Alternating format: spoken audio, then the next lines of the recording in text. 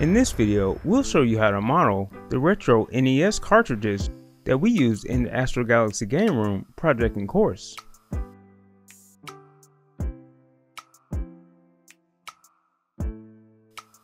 We'll start by using Blender's default general scene, and we want to be sure that we start in our modeling mode. And let's first set our viewport to quad view. This way, we can see the top, front, and side of our model simultaneously. We'll begin by importing a reference image into our scene.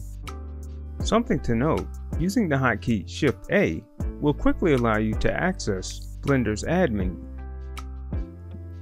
With our reference image in our scene, we'll move it out of our modeling working area and also add it to its own collection group. This way, we can quickly hide and unhide our reference image without having to hunt for it within our main collection group. We'll begin by scaling our cube so that its size fits the body of our cartridge.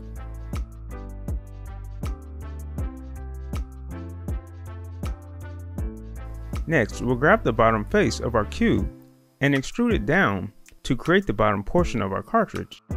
Next, we'll extrude the left and then the right face of our cube to create the extended body of our cartridge. We'll then grab all of our top faces and move them down so that they're just below the indented area along the tread-like area of the cartridge. Let's next make a vertical edge loop that falls just outside of the center of our model. Let's now grab the bottom faces of our model. Using the Insert Edge tool and our Scale tool, let's create the bottom opening of our cartridge. With our bottom shape defined, let's now extrude the faces upwards towards the y-axis.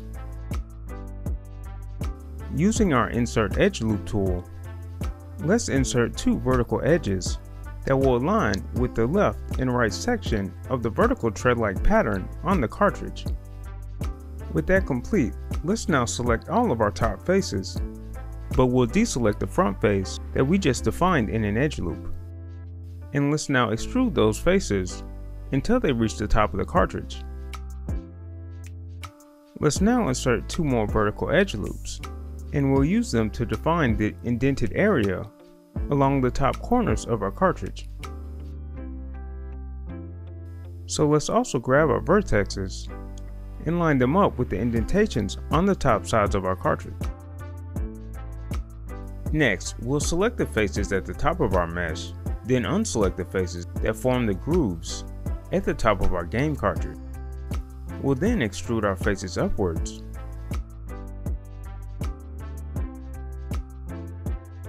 We then want to select all the front faces of our cartridge mesh. With our faces selected, we want to unselect the faces that form the area that encapsulates the tread-like grooves in our cartridge. We want to then extrude our faces forward and scale them in slightly on their X, Y, and Z axis.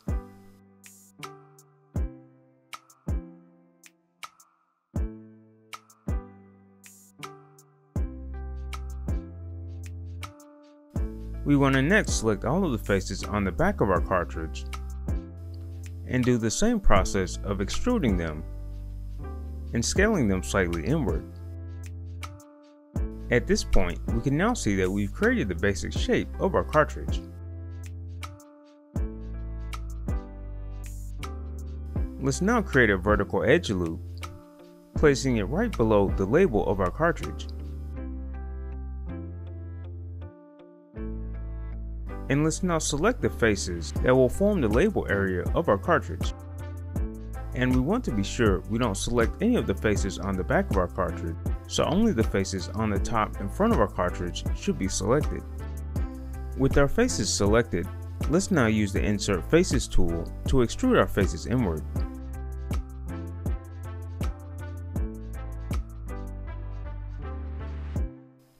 After adjusting our topology, Let's select the new faces we've created and use our Insert Edge tool to once again extrude our faces inward.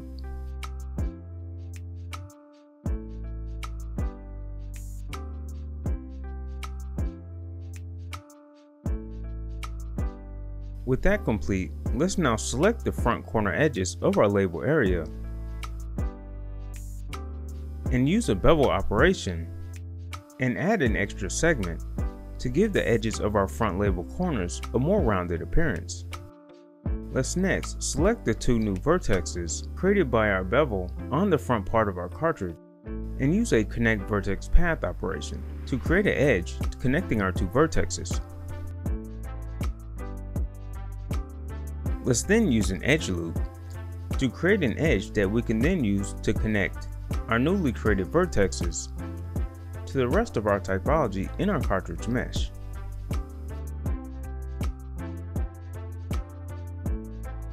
With that complete, let's use our polygon knife tool to connect the topology of the vertexes we just created to those created by our bevel.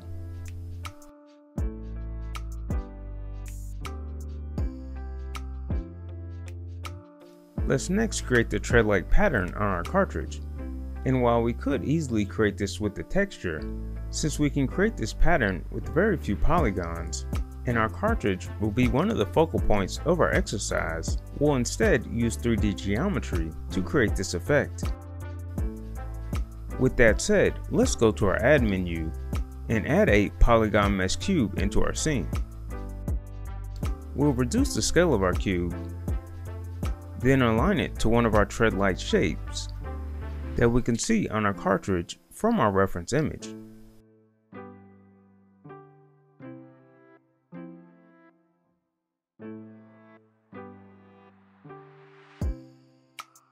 Let's also delete the back and side faces of our cube due to the fact these faces will be aligned to those of our cartridge mesh.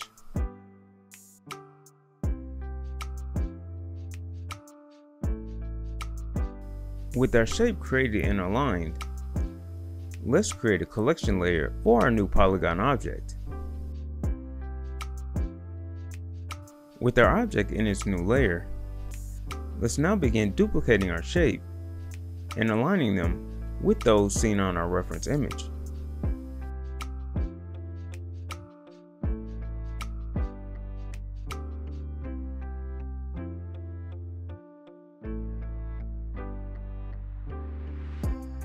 Let's next create the bottom shape found within the front groove of our cartridge.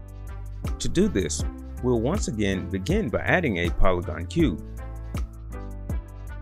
We'll next scale and size it to match the body of our shape.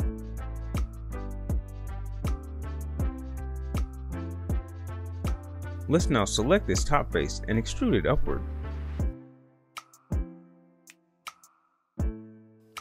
And let's select our two top corner edges and create a bevel, adding four segments to round out its shape.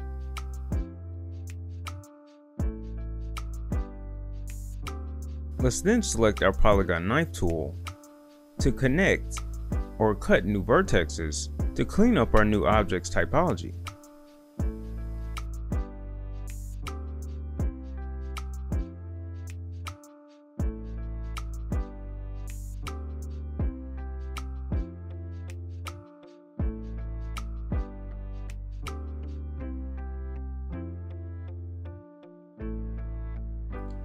With that complete, let's now select its back vertexes and scale them slightly larger, which will give the illusion of our shape having more depth.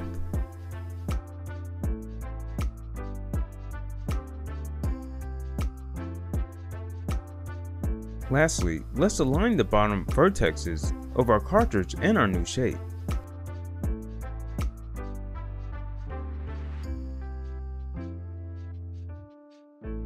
And let's duplicate our tread mesh, placing it in the indented area of our cartridge.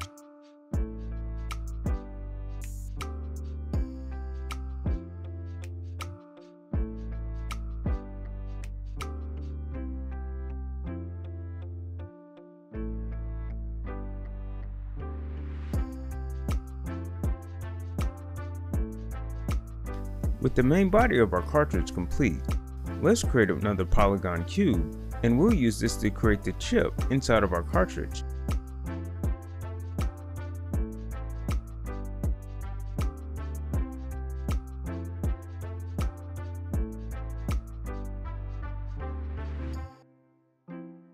We'll extrude the front and back faces of our chip and use these extrusions to round out its shape.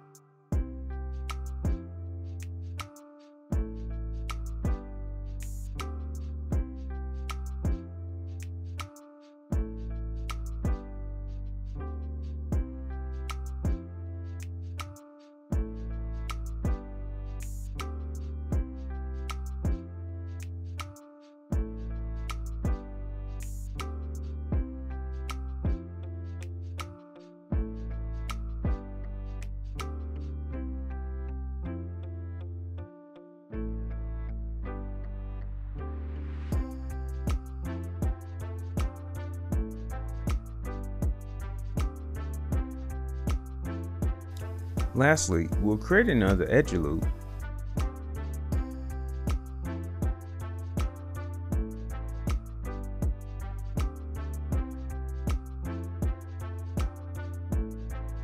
and use the insert faces operation to create the indentation for the back factory label of our cartridge.